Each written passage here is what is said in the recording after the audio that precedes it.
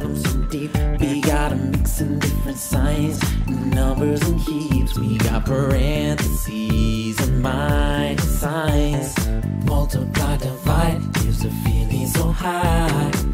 The question is, before we proceed, what is the order of the processes? Is it right to left or left to right? Multiply or simply add and divide. Is spelled out P-E-M-D-A-S. It leads us through these problems using standard steps. The path to solve a problem right. Make our answers all align. It's just like rules of grammar that keep our language universal. Oh, PEMDAS lets us know just how to flow. This is what it stands for.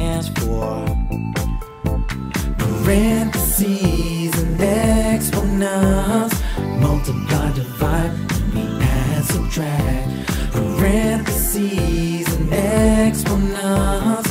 Multiply, divide, and we add, subtract. Parentheses and exponents. Multiply, divide, and we add, subtract. Parentheses and exponents.